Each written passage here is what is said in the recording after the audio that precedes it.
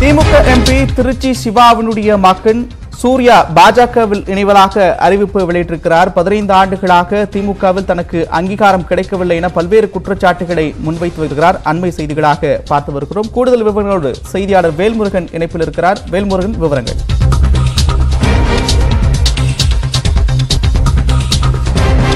இந்த சமீபத்தில் பாஜகவில் பல்வேறு அரசியல் கட்சி தலைவர்கள் குறிப்பாக மாற்றுக் கட்சியை சேர்ந்தவர்கள் பாஜகவில் இணைந்து வருகிறார்கள். அந்த வகையில் இன்றைய தினத்தில் ஒரு முக்கியமான தகவல் கிடைத்திருக்கிறது. திருச்சி சிவா அதாவது திமுகவினுடைய பாரம்பரிய ஒரு குடும்பத்திலிருந்து வந்தவராக கருதக்கூடிய திருச்சி சிவா அவர்களுடைய மகன் சூர்யா தற்போது பாஜகவில் இணைய இருப்பதாக தற்போது அதிகாரப்பூர்வமாக தகவல்கள் அளித்திருக்கிறார்கள். அந்த அடிப்படையில் நாளை அல்லது நாளை மறுநாளுக்குள்ளாக இதற்கான நிகழ்ச்சி ஏற்பாடுகள் செய்யப்பட இருப்பதாகவும் தகவல்கள் சொல்லப்பட்டிருக்கிறது.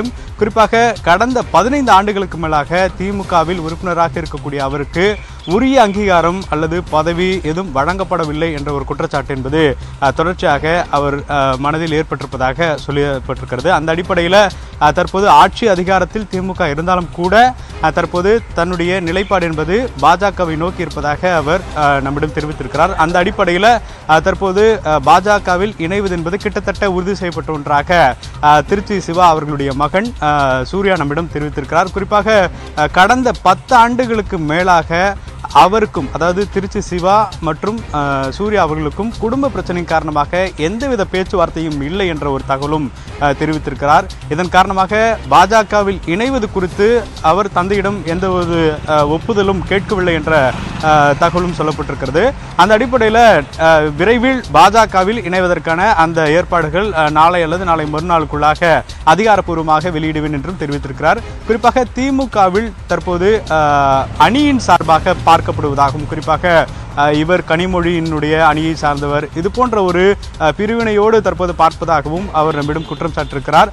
அந்த அடிப்படையில் கட்சியினுடைய பொறுப்பிற்கு வருவதென்பது ஒரு சவாலான விஷயமாக இருப்பதாகவும் குறிப்பாக கே நேரு மற்றும் அதே போல திருச்சி சிவா இவர்களுக்கிடையேயான அந்த அரசியல் ரீதியான கருத்து வேறுபாடின் காரணமாக அங்கே வந்து தன்னுடைய பெயருக்கு எந்த ஒரு மதிப்பும் இல்லை என்ற ஒரு குற்றச்சாட்டும் வைத்திருக்கிறார். இது போன்ற பல்வேறு காரணங்கள் இருக்கிறது. அதே போல மற்ற கட்சியிலிருந்து குறிப்பாக நாம் தமிழர் உள்ளிட்ட கட்சியிலிருந்து திமுகவில் இணைந்தவர்களுக்கு பதவி என்பது தற்போது வழங்கப்பட்டிருக்கிறது. ஆனால் கிட்டத்தட்ட பாரம்பரியமான திமுக குடும்பத்தில் இருக்கக்கூடிய தனக்கு இதுவரைக்கும் எந்த பதவியும் வழங்கப்படவில்லை. அப்படிங்கிற ஒரு குற்றச்சாட்டும் வைத்திருக்கிறார். இந்த அடிப்படையான காரணங்களை வைத்துதான் தற்போது திமுகவிலிருந்து விலகி பாஜகவில் இணைய போகிறார் என்ற ஒரு தகவல் என்பது சொல்லப்பட்டிருக்கிறது. குறிப்பாக திருச்சி சிவா அவர்களுடைய மகன் என்ற ஒரு பெரிய பின்புலம் தாண்டி அவருக்கு சொல்லப்பட சொல்லப்படக்கூடிய அளவிற்கு அரசியல் ரீதியான ஒரு பெரிய அளவு வளர்ச்சி இல்லை என்றாலும் கூட தற்போது அவர் இது போன்ற ஒரு பாரம்பரியான குடும்பத்திலிருந்து பாஜகவில் இணைவது என்பது ஒரு பெரிய பேசு பொருளாக மாறி இருக்கிறது நந்தா. தொடர்ச்சியா பாஜக அவருக்கு என்ன மாதிரியான பொறுப்புகள் வழங்கப்பட இருக்கு அது தொடர்பான தகவல் வெளியாகிருக்கிறதா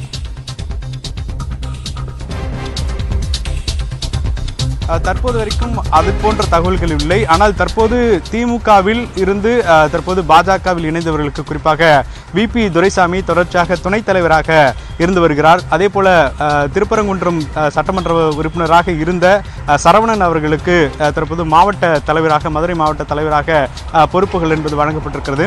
இதே போல மாற்றுக் கட்சியிலிருந்து வரக்கூடியவர்களுக்கு தற்போது பாஜகவில் சமீபத்தில் வெளியான அந்த புதிய அஹ், பட்டியலில் கூட பலரும் இடப்பட்டிருந்தார்கள் குறிப்பாக அஹ், காங்கிரசிலிருந்து வந்த அஹ், கராத் வேல்முருகன் தொடர்ந்து இணைப்புலரங்க அஹ், திருச்சி எம்பி சிவாவுடைய மகன் சூர்யா பாஜகவில் இணைவதாக அறிவிப்பு வெளியாக இருக்கிறது இது தொடர்பாக அவர் நியூஸ் எயிட்டின் தொலைக்காட்சிக்கு அளித்த பிரத்யேக பேட்டியை தற்பொழுது பார்க்கலாம்.